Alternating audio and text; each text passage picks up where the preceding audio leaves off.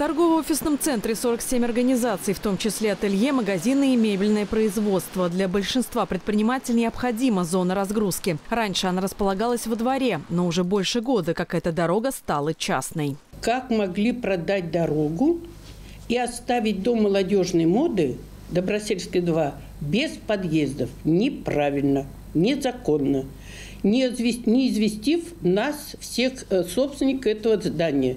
Ведь в тот момент, когда они продавали э, эту дорогу, в здании было уже 20 собственников. Галина Данилова говорит, в техническом паспорте здания эта дорога указана как собственность Дома молодежной моды. В ДММ настаивают, это дорога общего пользования. У нас, наверное, последнее здание, которое занимается бытовым обслуживанием еще до сих пор, ну, частично. Требования такие, чтобы дорога была городской, общей частью общего пользования. Арендаторы помещений солидарны с руководством. Разгружаться у входа в здание неудобно. Бывают трудности с погрузкой там, медикаментов и так далее.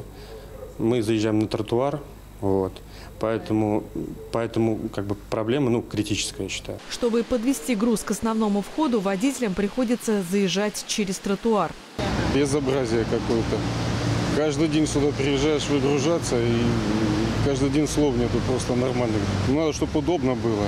Что сзади? Сзади там будешь выгружаться полдня. А как вы заезжаете сюда? Вот сюда приходится заезжать по тротуарам что выхода другого нету.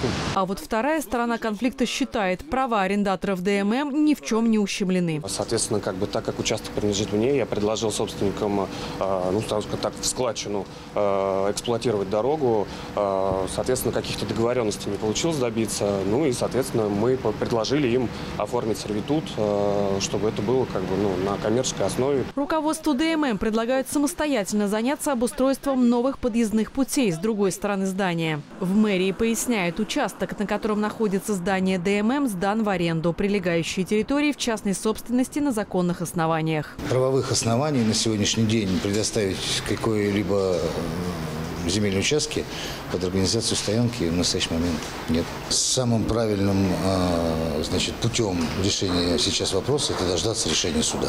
Чтобы решить проблему, предприниматели подали иск. Процесс проходит во Фрунзенском районном суде. Окончательное решение пока не принято. Алена Кудряшова, Татьяна Семенова.